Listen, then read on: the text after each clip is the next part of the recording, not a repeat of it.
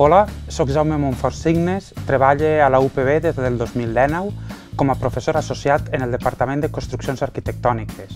També sóc arquitecte tècnic i exercisc la professió lliure. Forme part de la plataforma del professorat associat de la nostra universitat, de la qual sóc portaveu. Vinc a parlar amb el rector i preguntar-li alguns dubtes que tenim el professorat associat.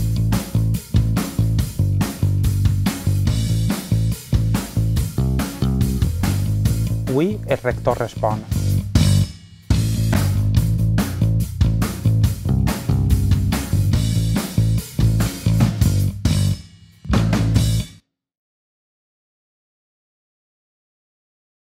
Hola, hola rector. En primer lloc, agrair la possibilitat que dona el professorat associat avui de parlar i de poder-li transmetre aquests dubtes que, que ens sorgeixen i que en aquests moments més ens preocupen. Abans de començar, m'agradaria explicar que vinc com a representant de la plataforma del professorat associat, de la qual sóc portaveu, i les preguntes que anem a formular en aquesta conversa han estat eh, triades en una assemblea prèvia que van fer tot el professorat associat entre aquelles qüestions que més preocupen al col·lectiu. Si li sembla, anem per feina i la primera pregunta és molt breu i molt senzilla. Ens podria dir quants professors i professores associades hi ha en aquest moment treballant a la universitat en este curs acadèmic? Bueno, lo primero, agradecerte eh, la disposición, representando en este caso a la plataforma, al colectivo de profesores asociados de la Politécnica, a participar en, este, en estas conversaciones que yo creo que pueden ser muy positivas y muy, muy constructivas para la universidad. Pues mira, tenemos del orden de unos 600 eh, profesores asociados en la universidad. Esto, este número cambia, eh, también piden algunos cambios de dedicación, etcétera. Eh, no es una de las cifras más elevadas, yo creo que lo conoces, ¿no? Conoces cuántos asociados hay en otras universidades. También es cierto que esta universidad, por sus características, necesita profesores asociados. otra cuestión es que, bueno, la figura del profesor asociado es lo que es y, por desgracia, eh, no siempre se ha hecho el uso más adecuado de ella. Pero bueno, si quieres podemos continuar hablando de sí, esto. Sí, molt bé. Eh, la primera, la, les primeres qüestions que volíem plantejar eh, van un poc eh, en el sentit de fer com un balanç d'estos dos anys per a, que el, per a què ha significat el, este nou equip rectoral, des de les últimes eleccions, per a la figura del professorat associat.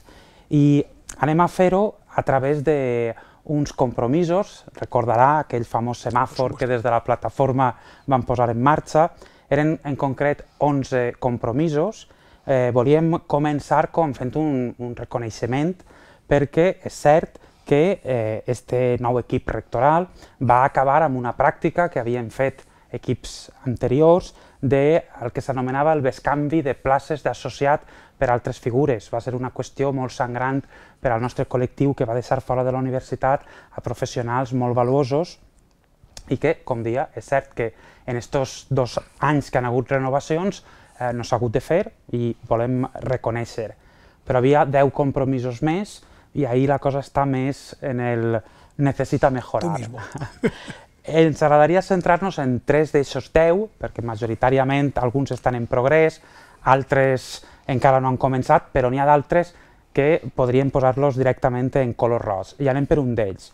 És el tema de la renovació dels contractes del professorat associat. Tot i que la LOSU previsiblement passarà a una figura indefinida, la pròpia LOSU replega que és possible que alguns associats per necessitats docents finalitzen els seus contractes. Per tant, els criteris de no renovació continuaran vigents. En campanya eh, es va comprometre a que el, el, els nous criteris serien negociats també en la plataforma. Eh, finalment no es van negociar en la plataforma, és més, havia un comunicat de la plataforma eh, d'alguna forma eh, no donant eh, el vistiplau a esos, a esos, a ese barem. Què li diria a aquests associats i associades que van confiar en les eleccions, en aquest equip rectoral, en les seues propostes, i ara veuen que algunes d'elles directamente no se han cumplido. Bueno, yo soy más positivo que tú, ¿eh? pero ya en cualquier caso yo creo que es, es, es bueno que expreses aquellas dudas eh, que tengáis dentro del colectivo para que las conozcamos.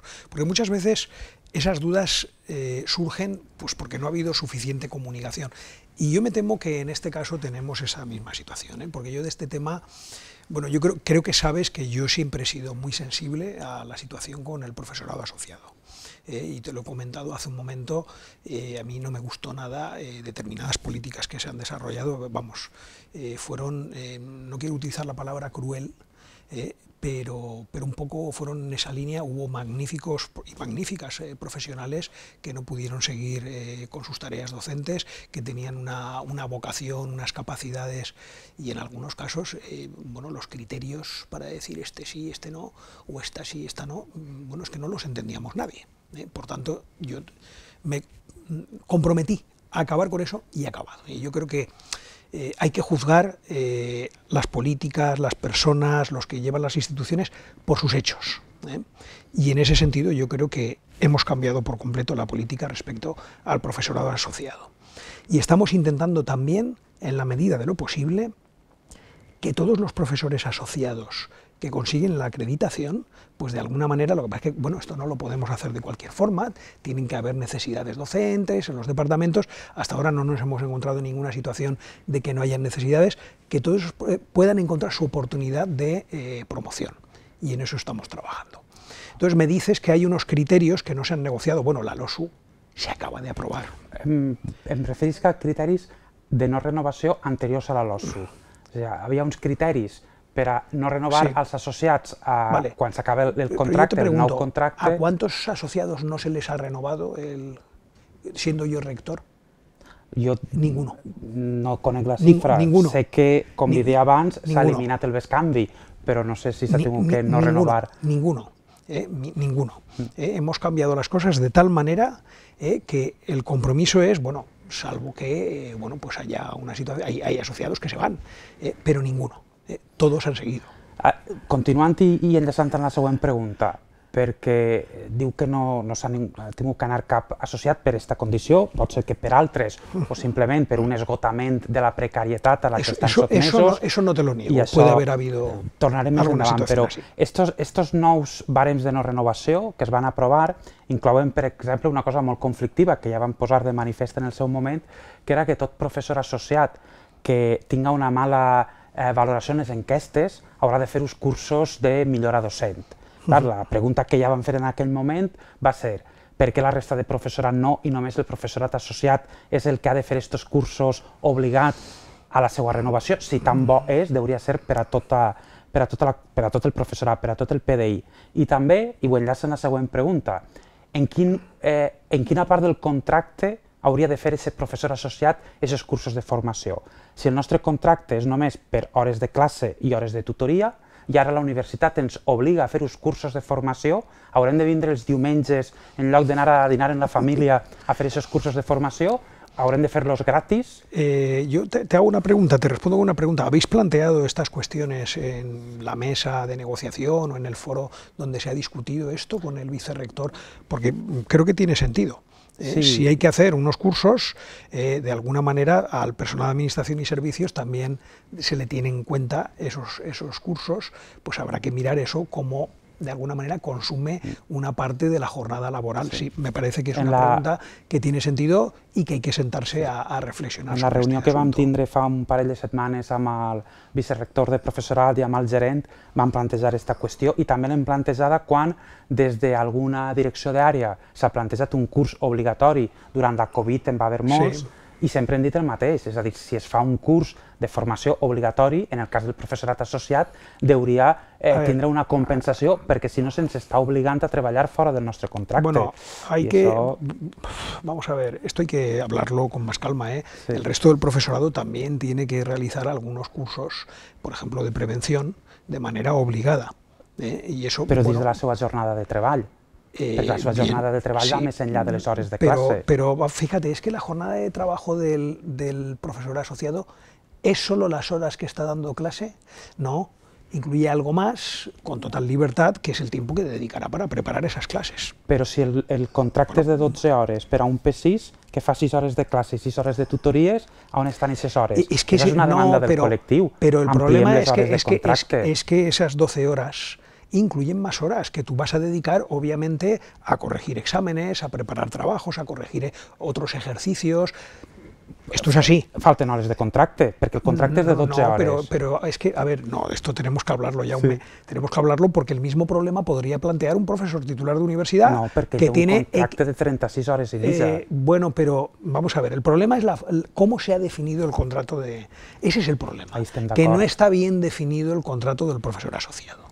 Eh, pero implícitamente, y esto, vamos, es que es obvio, tú no puedes dar tus clases si no las preparas. Y ese es un tiempo adicional que necesitas. De la misma manera que el profesor titular de universidad, que está a tiempo completo, eh, necesita un tiempo para preparar sus clases, incluso para preparar tutorías o seminarios. Además tiene las obligaciones de investigación. Pero el problema es que no está bien definido, no está bien definido el trabajo del asociado. Això era un compromís dels que vam adquirir en campanya, el reprenem a partir d'ara i fem un grup de treball per a veure de quina forma podem incloure totes les tasques del professorat associat en contracte. La tercera qüestió era sobre els triennis o l'antiguitat. És cert que sembla que hi ha un decret que està pendent d'una firma, que probablement, sí, però estem a pocs dies de les eleccions i no sabem què passarà, però en el millor dels escenaris, el professorat associat, des d'estos dos anys, eh, només cobraria antiguitat de 5 mesos. En sí. campanya se'ns va dir que això estava clar i que anàvem a cobrar. Bueno, eh, claro, eh, será mi compromiso. Eh, yo voy a hacer esto. Eh, pero lo que no puede hacer uno es para cumplir las cosas saltarse la ley. Y nos lo denegó la Generalitat. Yo, hubo una carta que se hizo pública, mm. entonces esto que dices, ¿cuándo se va a conseguir esto? Pues se va a conseguir en cuanto se firme el convenio colectivo, el personal laboral de las universidades públicas valencianas, y aunque hayan unas elecciones a una semana, el gobierno todavía tiene tiempo y yo espero que lo saquen. Lo último que te puedo decir, porque lo pregunté hace varias semanas, es que este decreto el último trámite que tenía que pasar era la revisión del Consejo Jurídic, mm. eh, que es un trámite legal que no sí. se lo puede saltar la propia Generalitat. Correcte. Y ya deben estar a punto de recibir y no, no debería haber la más mínima pega. Igual nos llevamos esta semana la sorpresa de que en el último Consejo, y si no en funciones, también podrían aprobarlo. ¿eh? O sea, yo espero que en este caso no es un compromiso ya mío, es un compromiso de la Generalitat Valenciana, que se cumpla, ¿eh? y creo que se va a cumplir. Esperem, però repetís, dels dos anys només cobrarien cinc mesos Lo sé, d'antiguitat. lo sé, y yo sí que Podrem de verdad que... Haurem pogut que esta buscar fórmules alternatives en alguna espècie de complement o no es, sé. que, es que las vías legales que tenemos están limitadas. Ojalá pudiéramos, sabes perfectamente el problema que tuvimos con las retribuciones adicionales, lo pudimos resolver. Esto también afecta al profesor aso- asociado, que por cierto no tienen ese complemento en otras universidades, lo cual es una cosa que alivia, ¿no? Un poco en parte esa precariedad a la que, a la que te referías. En parte. ¿eh? No he dicho que he dicho que Sí, alivia, sí, ¿no? sí. no que resuelve, o sea que eh, te lo he dicho claro. Y eso también fue una cosa muy complicada, porque ese es un asunto que nos lo encontramos, eh, para mi sorpresa, en una situación mm, francamente mala. ¿eh? Incluso esa parte de productividad variable eh, se había descartado reclamarla ya a la Generalitat y yo, vamos, lo primero que planteé y puse sobre la mesa, no, no, no, y queremos la productividad variable. Y se aprobó el decreto con la productividad variable, como sabes bien, Mm. y pudimos también, eh, todo el profesorado de la Politécnica, cobrarlo el, el mismo año 21. ¿eh? Si li sembla, deixem ja este repàs i entrem en una altra qüestió, eh, la LOSU. La LOSU obre un escenari de mal de caps, jo crec que per a, per a tota la comunitat universitària, però també especialment per al professorat associat. Eh, fa poc, com hem comentat abans, vam tindre una reunió amb el vicerrector de professorat i amb el gerent i se'ns va comunicar dues qüestions que ens agradaria que ens confirmara que són així. La primera, i per això la pregunta aquella de el número de professors i professores associades, aquestes vora 600 places, se'ns va dir que la intenció de la universitat és estabilitzar aquestes 600 places. Podem com, comptar en el compromís d'este equip, este equip rectoral que aquestes 600 places passarien a, A a indefinidos. indefinides. L'altra qüestió, en relació a aquesta forma de passar, eh, s'ha creat un grup de treball eh, per a establir els barems que regiran els concursos de mèrits per a que aquests contractes passen a indefinits. I en aquest grup de treball el professorat associat no participa. Tornant a aquest compromís de que seríem sempre veu en tots aquests processos, eh, no es pot articular una forma de que el professorat associat puga participar també en l'elaboració d'aquests barems, si no en este grup de treball, en un altre grup de treball, paral·lel i que treballen en paral·lel els dos grups es, de treball. Es razonable eh, lo, que tú, lo que planteas, ¿eh? me parece razonable y lo que vamos a ver es eh, digamos, el marco legal de negociación hasta donde nos permite ir, porque tú ten en cuenta que además tenemos las organizaciones sindicales, que son las que tienen la legitimidad para representar en las negociaciones a los trabajadores. Entonces tendremos que ver cómo se hacen compatibles ambas cosas. Nosaltres no parlem tant d'una mesa de negociació com un espai d'aportació eh, bueno, des del de punt de vista del professorat associat, que és el que està més afectat, puga aportar eso a no ese, es, eso no a es ese ningún, baremo. Eso no es ningún problema y puedes contar con ello. Molt bé. Puedes contar con ello. Pues passem ja a la tercera qüestió, ja la última, que és el tema de la vaga. Eh, el professorat Sí. associat estem de vaga, és una vaga fonamentalment contra la LOSU i contra el pagament de l'antiguitat, però jo crec que també hi ha un transfons de la precarietat que té tot el, tot el col·lectiu. Ens arriba al professorat associat com dos versions d'esta situació de vaga. La que s'està produint en l'aula, on els alumnes s'acaba el curs, no van a tindre exàmens i comencen a estar molt nerviosos, i la que sembla que és des de rectorat, en la que la vaga no està tinguent incidència en, eh, en la docència. A nosaltres ens ocorreixen dos possibles escenaris, igual hi ha un tercer i el descobrim ara. El primer és que la comunicació no està arribant a rectorat i no sabem per què, és a dir, que sí que està havent incidència en les escoles, però no està arribant a rectorat i ens preocuparia. Eh, la següent, que és la que ens preocupa més, és que hi hagi una voluntat d'invisibilitzar els efectes de la vaga. I dic, pot haver una tercera que desconeguem. A ver, mm, será que la información no está llegando a rectorado.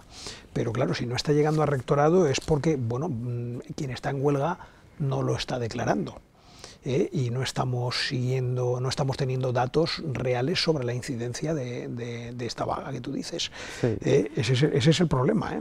Pero Pero, el- no hay ninguna tercera ni interpretación. Però el, el treballador no té l'obligació de comunicar que està en vaga. És és l'empresari, eh, l'administració en aquest cas, el que, quan detecta que el treballador no està assistint al seu lloc de treball, li pregunta per què no està anant al lloc de treball. És a dir, els treballadors no estan cometent cap irregularitat, estan seguint una convocatòria de vaga, igual no s'està articulant el procediment adequat, però el Pues, treballador no està bueno, eso, incomplint. eso, eso, eso lo podemos estudiar, pero bueno, Mm. no tenemos realmente una constancia eh, de quienes están de huelga y quienes no. Eh, es- esa es la situación. Li demanaríem, per tant, a l'equip rectoral que es passe per les escoles i que parlen els alumnes No, bueno, eso lo preguntaremos ambients... a, lo- al- a las direcciones de los centros. eh, porque el- nuestra comunicación no es directa, Sí. es a través de las direcciones No. de los centros. I, i, i tenim inclús casos d'universitats estrangeres que hi ha conveni d'intercanvi d'estudiants que estan parlant amb els professors que estan fent vaga preguntant com és que els seus alumnes no estan tinguent classe. Ja. Són qüestions que s'estan donant en el dia a dia en l'aula. Eh, jo crec que s'acaba ja el temps i ens agradaria fer com una pregunta final i és, eh, ens agradaria saber què li diria a vostè, com a rector d'esta universitat, com a primer cap que hi ha en la universitat, a aquest professional o a aquesta professional que està treballant fora de la universitat, que té una experiència reconeguda, tal com diu la llei, que ha de vindre a treballar a la universitat i anem a oferir-li un contracte de 12 hores que no replega totes les que farà en uns horaris impossibles i per poc més de 500 euros. Què li diguem per conquistar-lo, per a que vinga a treballar així? Bueno, vamos a ver, el- vamos a ver. Esto que estás diciendo es me lleva a otra cosa. La mayor parte de los profesores asociados que tenemos en la Universidad Española, la mayor parte lo hacen por vocación, por pura vocación, y probablemente tú seas uno de esos profesores que están aquí por vocación, y es triste que sea eso. eh, que esto sea así, pero bueno, tenemos un marco retributivo y una, digamos, definición de la figura del profesor asociado que no es adecuada. Eh, de hecho, eh, hay muchos profesores asociados que también llevan a cabo tareas de investigación. Y se supone que bueno, no- eso no está contemplado en sus digamos, capacidades o competencias. Y nosotros eso estamos tratando de reconocerlo. Y por ejemplo, te voy a decir una cosa que hemos hecho en esta legislatura, y es que aquellos asociados que están acreditados eh, los metemos en el convenio que tenemos con la NECA para la evaluación de sexenios de investigación. ¿eh? Con lo cual, pues es un reconocimiento tácito de que sí que hay asociados que investigan y además estamos reconociéndoles eso pensando en su futura promoción. ¿Eh? porque normalmente el que investiga es porque está pensando en hacer una carrera universitaria. Pero bueno, eso es una muestra de la voluntad. Mm. Y ya te digo, esto es con una interpretación un tanto complicada, porque lo que está claro es que la figura del profesor asociado está definida solo para tareas docentes. Mm. Haurem de treballar para que la vocación pague también las facturas a final de mes, porque... Bueno, sí, no te puedo, a eso no te, no te puedo decir que no. Eh? Eh, Aquestes han sigut les nostres preguntes i novament moltes gràcies per atendre's.